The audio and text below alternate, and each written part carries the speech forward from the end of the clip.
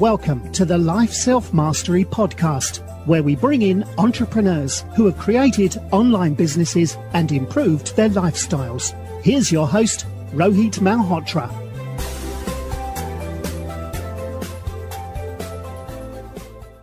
Hello, everyone. Uh, I'm really excited to share that I've started a, I've created a, a new virtual summit, which is uh, called Angel Summit, where I've organized uh, you know discussion and sessions with uh, some of the biggest uh, angel investors and VCs in the world, uh, with the likes of Fabrice Grinda, who's the uh, founder and partner at FJ Labs, uh, Sajid Phil Nartle, Shruti Gandhi, and others, which you can have access to the, the three-day virtual summit, which is happening from 18th to 20th of October and the Angel Summit is split into three different modules with a broad range of expert opinions. You can learn about how to invest into startups by learning, you know, how to, how to network, how to build your reputation as an angel investor.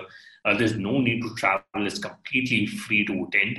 And you know, with over one hundred thousand new startups launched uh, this year, you can't afford to not to stay ahead of your competitors. Uh, so the free ticket uh, you can get it at uh, angelsummit.co. I'll also put that in the show links. Um, uh, so it's called angelsummit.co. It's going to happen on 18th and 20th of October. Really looking forward to see you guys around there. Thanks. Hi, everyone. This is Rohit from Life Self Mastery. Today, I'm thrilled to have uh, Liz Velarde, uh, who's the uh, co-founder and acting CEO at Delee. Uh, uh, she's a, a, a, uh, uh, has been responsible for development and execution of companies' uh, strategic plans. And in addition, she's responsible for leading a multidisciplinary team that has created a technology successfully tested on patients with prostate cancer and for the isolation and analysis of circulating tumor cells with pre-sales that exceeds uh, $1.4 million. Now, Velarde's outstanding work has been highly regarded by international institutions such as Cartier Women's Initiative Awards and we exchanged in October 2019. She was acknowledged as one of 50 most relevant people who were transforming Mexico and was invited as speaker on various international panels. Uh, welcome to the show today. Thank you. Thank you so much, Rohit. And thank you for investing in us. Awesome, yeah. Uh, uh, uh, no, it's been it's been a pleasure, you know, because you know uh, the, what you're trying to solve is extremely difficult, but uh, but I wanted to understand, you know, what was your journey to get into startups and why did you uh, build Deleco? Sure. Uh, well, I, we we met together, the three founders, uh, Alex, Juan Felipe, and myself, back in college in 2012. And we were wor- they were working uh, on cancer specifically. Okay. Uh, they are scientists, engineers. Uh, Alex is a physicist, and Juan is a biomedical engineer, and myself, I'm focusing on business. And they presented to me a solution, only the design of it, the computer design of, of uh, a technology that could help to isolate circulating tumor cells when they presented to me the, the technology, I was amazed about the work and I absolutely thrilled to, to help them out. We didn't think about creating a company at that stage yet. We were in college. We only wanted to get the technology to work in order to help patients. The three of us had suffered before of uh, family losses because of cancer, and we understood that cancer is a really complex disease, really complex. Right. The problem with cancer is that not only you need to detect early cancer, you also need to do a correct follow-up of the patient because we realize that at least that's the common thing that happened between us that when you are diagnosed cancer they put you on some treatments and then one year later the doctor says to you like okay it did, didn't work. We need to try another thing. And treatments are really expensive all around the world. So which treatment you need to apply for that patient? And why does the first treatment didn't work in the first place? We made that huge investment to help my my loved one.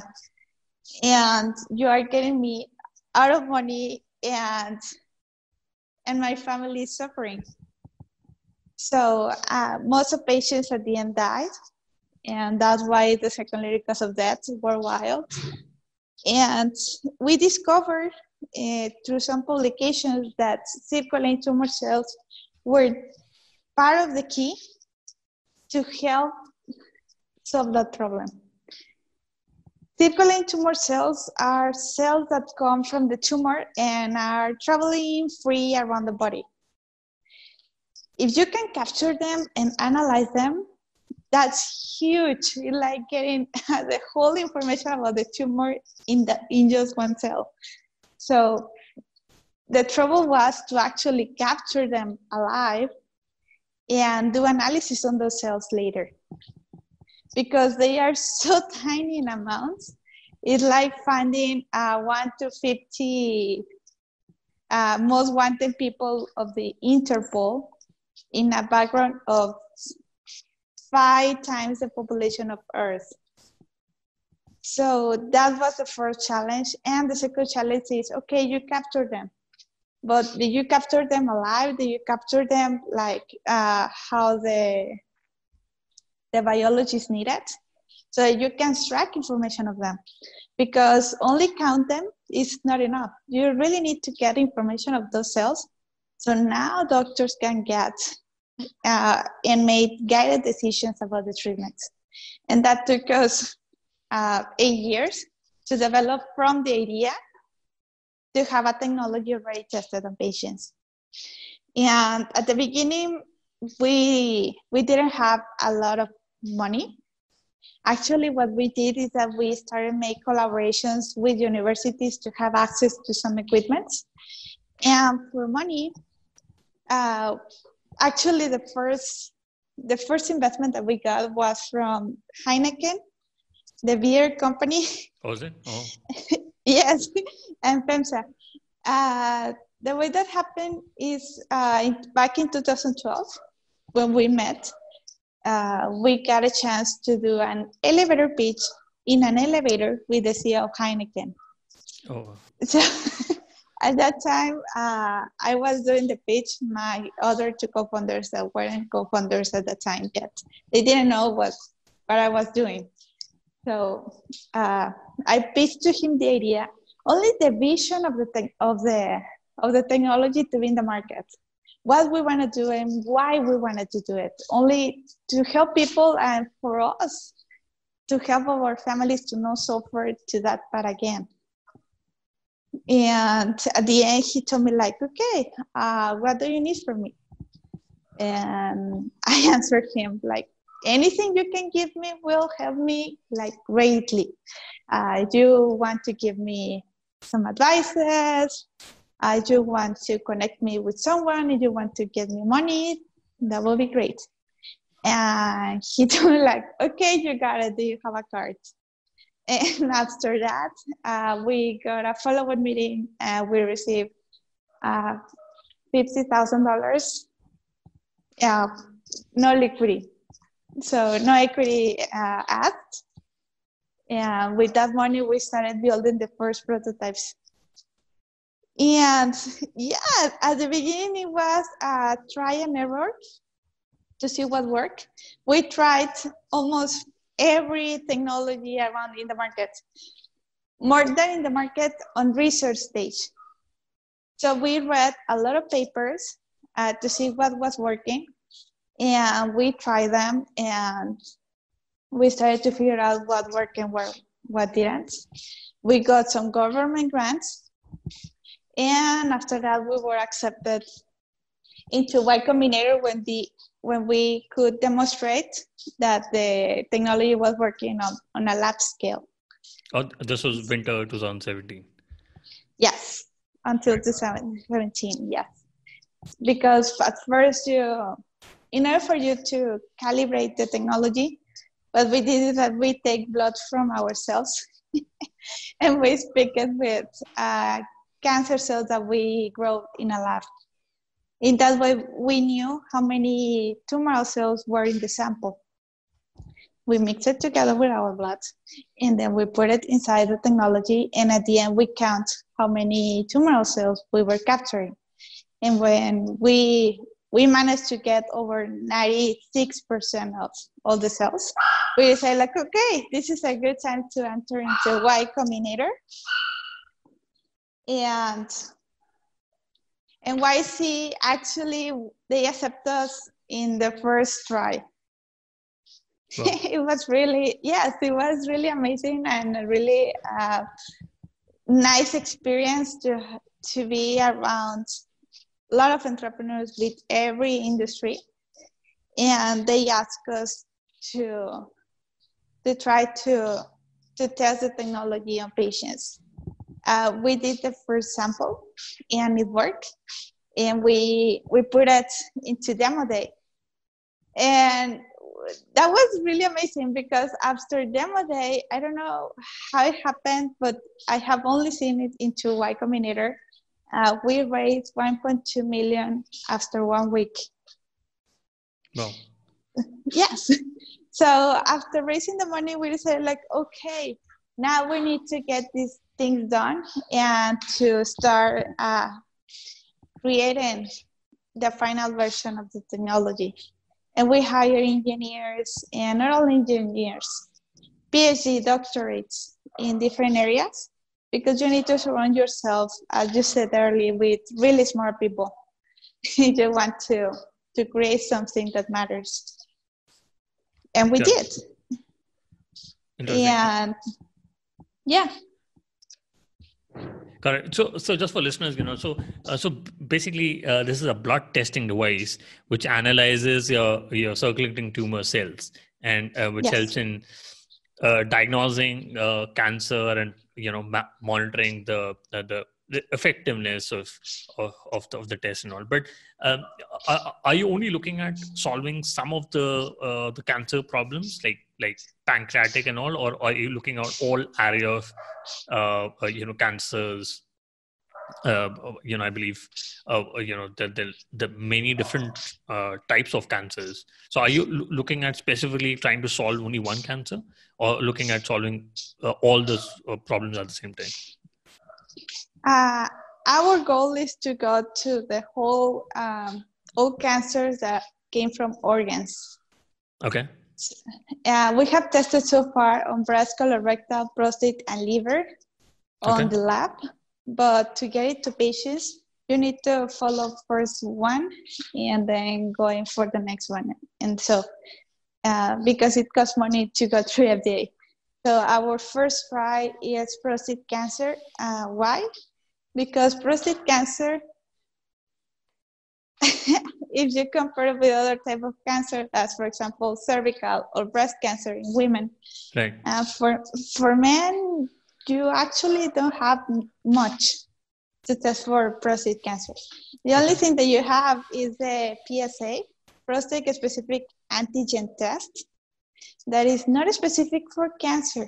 It only tells you how the prostate is, but it doesn't tell you if you have cancer and what stage is the cancer and all that. So physicians have to get biopsies from men in order to to say, okay, you have cancer. And a biopsy actually is the gold standard for to get information about the state of the cancer of the patient to first diagnose and to second uh, to estimate the stage of the patient. But you cannot perform biopsies every two months, every month, right? Right. right. Uh, it's a surgery. Oh, so okay. we decided like, okay, uh, let's go to prostate. There's nothing for men, so we can get them to have an option. And also prostate cancer is a really uh, interesting cancer. If I may put it in simple words, uh, right. you may have like, there are like two most type of prostate cancer, the one that uh, allow you to live shortly and the one that let you live like 10 years. Which one do you have? You don't know. Right. And at least uh, doctors in United States and Latin America, uh, they don't want to they don't want to gamble about your life and to, to gamble to see which which cancer do you have. So what happens is that with prostate cancer, they overtreat the patients. So maybe they don't need so much uh, chemios for their cancer. You only need one, or they only need one specific uh, chemio. Right. But since they don't know which which cancer you have, so they put you like everything they have, and they go and that comes with secondary problems, right? So we say like, okay, uh, this tool can help them understand which type of cancer do they do the patient presents, and to understand now which treatment do the patient needs. And since it's only a blood test, uh, the blood test what it does is that it uh, it processes the blood in less than 15 minutes, and in less than 15 minutes you can recover the CTCs. After that, uh, you can perform analysis of them, either in the microscope that we design. The microscope, where it does it uh, inside the machine, we color the cells and we put it inside the microscope, and the microscope take pictures and identify in seconds uh, how many tumor cells there are and if they, and if they present a specific mutation. Link to a treatment. You can do that, or you can do molecular testing, a gene sequencing, for example. And with that information, now doctors can see which treatment does the patient have and which treatment does the patient need. And right. they can have that info every two weeks or every month, according to the needs of the doctors. Right. And that's right. So, awesome. Right. Today, I have an interesting stat for you. Did you know that the founder of Beautiful Lives increased the social media presence by 10x. They managed to publish consistently and effortlessly using a robust social media management tool called Social Pilot. Social Pilot is a cost effective social media tool that helps businesses scale their social media marketing efforts. Use lifestylemastering.com slash social pilot to get a 14 day free trial. Absolutely. Uh, uh, uh, you know, Lisa, before, before the call, we were, we were discussing about uh, why uh, you know startups in last uh, say 10 15 20 years have been have been able to uh, make pe- people come together through through Facebook and other social media websites, but we've not been able to solve complex problems like like cancer. so so why why do you think you know we've not been able to to solve cancer? Uh, do you think it's uh, I mean, you mentioned that it's because of less clinical uh, trials, but but what do you think is is the, is the crux of the problem? Uh, is is it uh, you know not enough test trials are happening, or is it because uh, you know there is uh, a bit of a corruption in the medical industry on this? Okay, that's an interesting question. Actually, I must recall to the beginning when I said that cancer is a really complex disease. Right. It, it is. Is it, is it because Can- of the lifestyle? Uh, people have those sort of lifestyle. That's why they get cancer. Because in last, I think last 30 or 40 years, you know, the cancer has started rivaling uh, heart disease. Uh, it never used to be there or, you know, uh, maybe we did not have much understanding about cancer. But do you think it's because of the lifestyle changes? Like people have uh, started eating more or uh, you know because of the lifestyle problem or what are your thoughts on that yeah um, actually as you mentioned the incidence of cancer or the way that people get cancer is going to be increasing over the over the years right it cannot be like uh, for example you can uh, get to manage covid coronavirus but you cannot manage cancer what you can do you right. can make cancer as a chronic disease and make it curable. Yes, that's that's the goal that we want to to get as a medical device community, as a community of healthcare, to get cancer curable. And how do you do that? Well, first, yes, you need continuous stream of information about the state of the patient, and second, you need new treatments. What is cancer? Cancer per se is a mutation of the people's own cells that instead of killing each other when there is a mutation as it normally does, it replicates. It replicates the mistake. It replicates the mutation. And it starts affecting other cells until it grows in a way that you cannot stop it. So in that, in that way, for every person in the world, cancer is going to be unique. So there cannot be an universal cure for cancer. But when it can be done, you can create different type of treatments and you need to know then which treatment you need to get from those treatments that is being developed by pharma companies. Interesting. So, so, so, so what you're saying is uh, there's no universal solution to to solving cancer, uh, but it can be cured, right? I mean, uh, yes. do you think in next, you know, what is the time frame you have next 20 or 10 years we can solve the problem? Yes, uh, the good thing about what we are developing is that we are getting information about cells from different populations. So when we get it to the market, uh, the idea for us is to start selling it as a research tool for cancer in at the end of this year for all research communities to start testing it in different kind of populations and to get info about those populations you can even get to know if there are new mutations uh, in a certain certain population. And with that info, uh, pharma companies can develop new treatments for that specific uh, set of population. So that's the idea, to not compete uh, with everyone, but to actually uh, deliver results and deliver information so that everyone can be a beneficiary of this technology because what we are enabled is to we're giving them information. Right. Correct and and you know you've built a product called cytocatch uh, which is which will uh, uh, you know do simple blood extraction and uh, so that uh, uh, it can you know isolate tumor cells. If you know is that the purpose of the of the device yes, to not only uh, isolate circulating tumor cells, but to also do the analysis on site. Uh, right now, the way that is uh, being done in the United States is that uh, you take a blood sample from a patient and you send it to a lab to wait for results, a centralized lab, a CLIA lab. But by doing that, you are waiting for your results at least five to seven weeks. And cancer is a disease of time. You cannot waste time to certain cancers because it will kill the patient.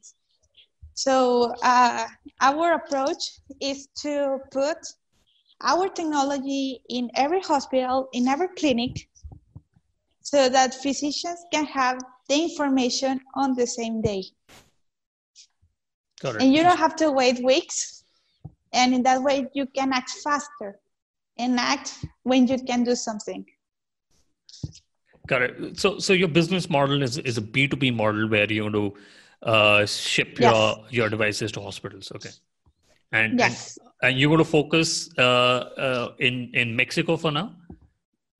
In mexico allows me to do trials at lower cost doing uh-huh. in the united states correct but our focus is first to sell it as a research and to start the diagnostics later to FDA.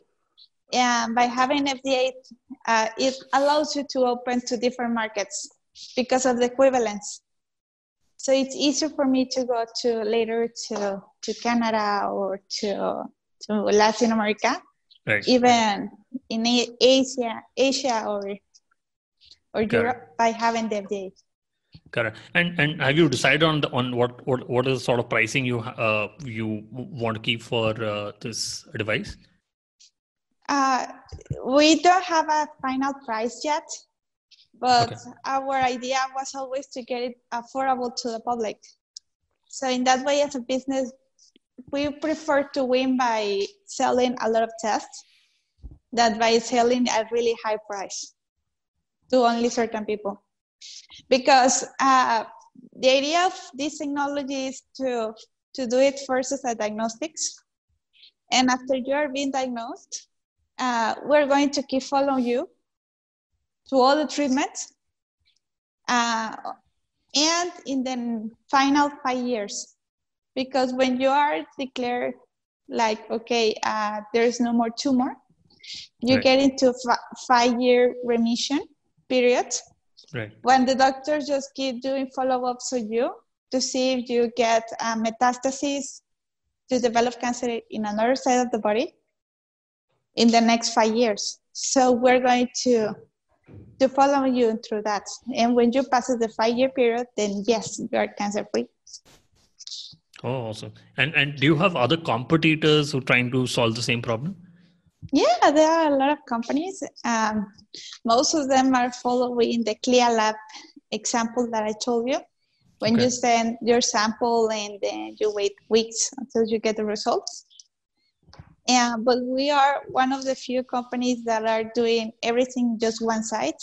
And not only the isolation of CTCs, but also providing the analysis to help doctors to just focusing on the patients.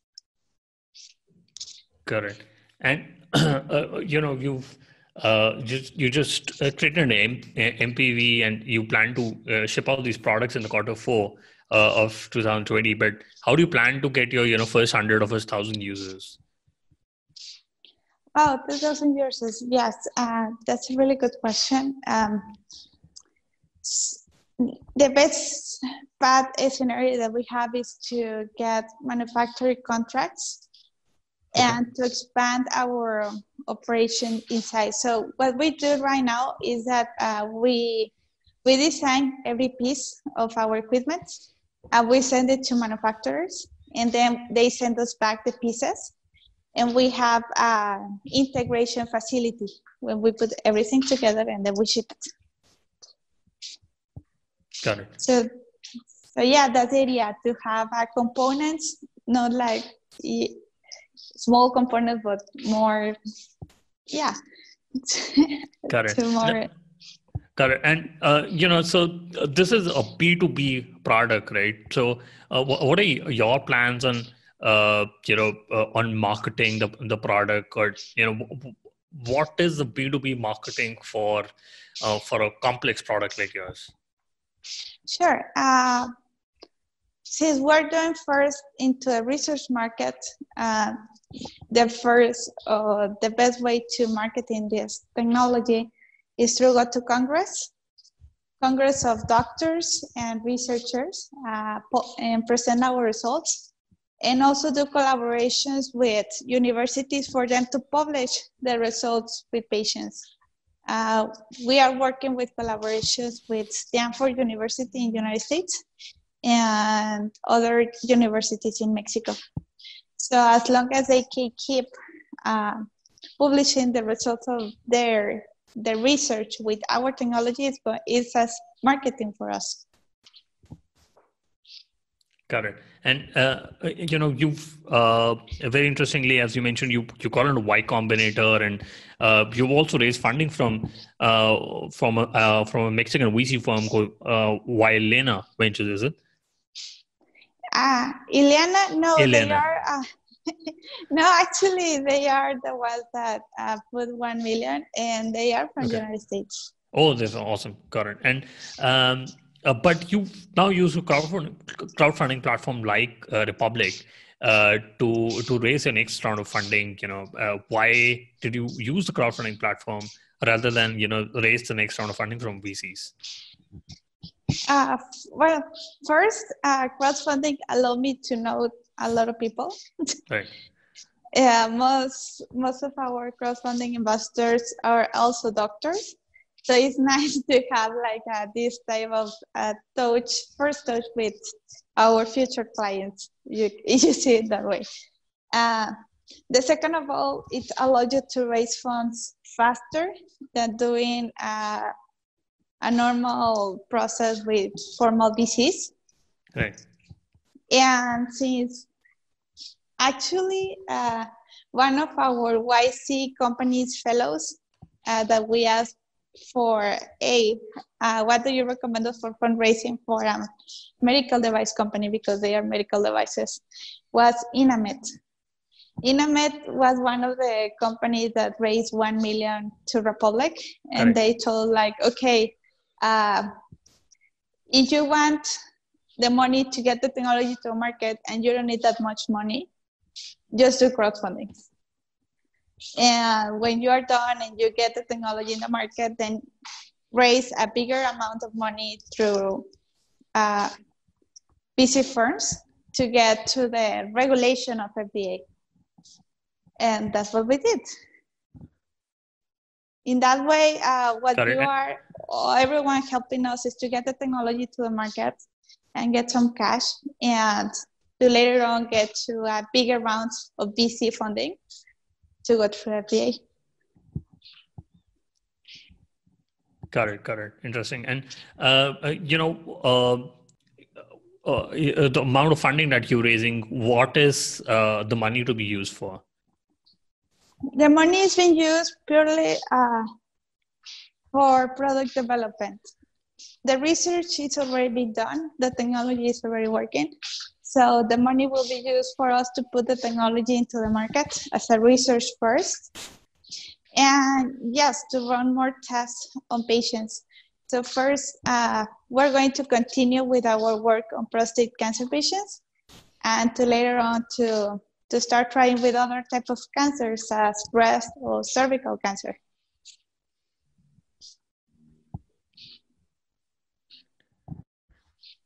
Got it. Yeah.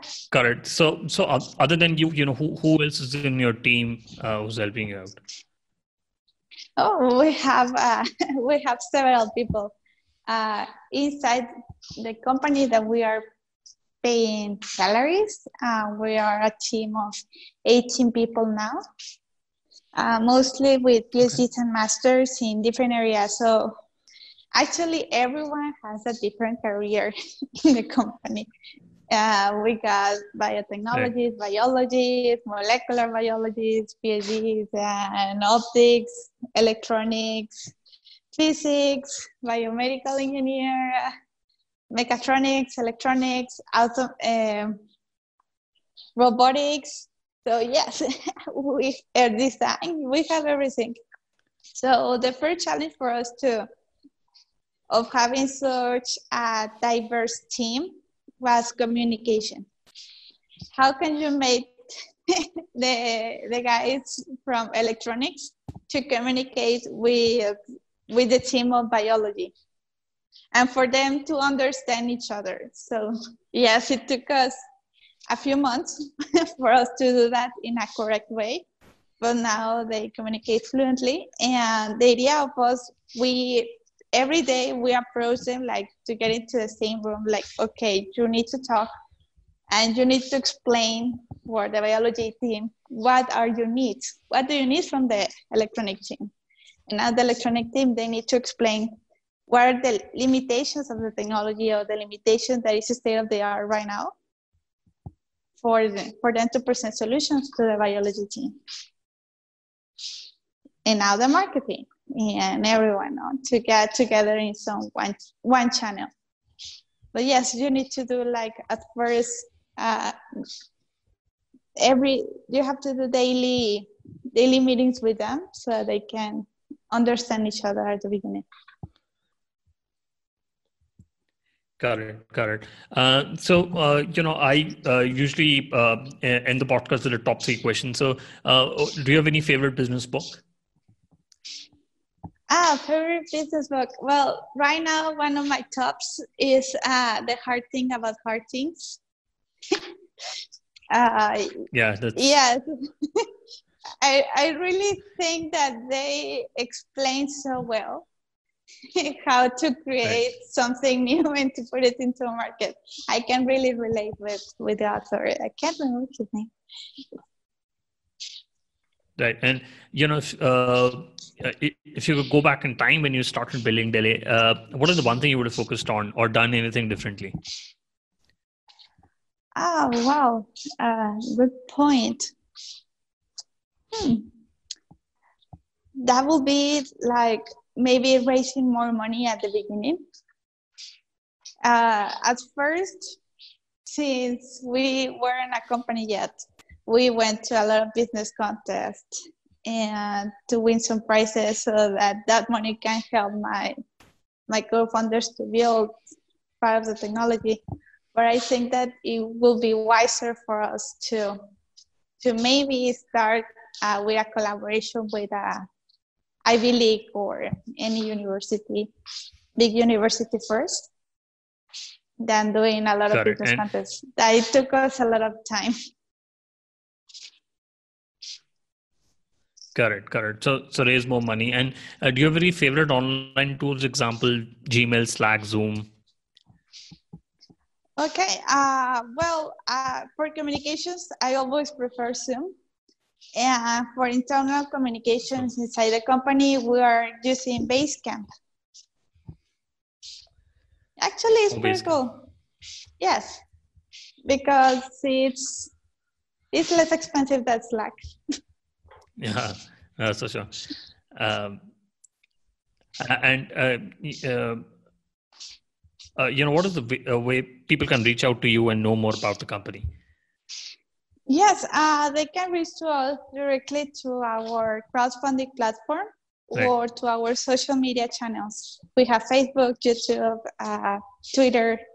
We read everything. So, yes, we are Got it. always we'll put, checking. Got. We'll put that in in the in the show notes.